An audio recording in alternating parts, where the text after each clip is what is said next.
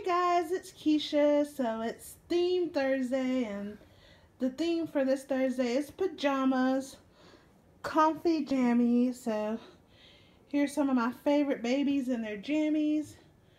There goes Jace and his little frog jammies. It's so cute. There goes Saray. She's in her little hearts.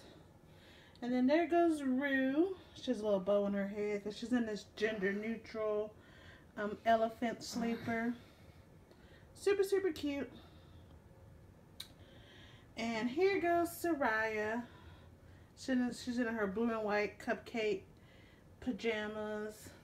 Little cute sleeper. And she still has her little strawberry hat on. So yeah. I hope y'all are having a good Thursday. Got your babies all comfortable and thank y'all so much for watching. Take care.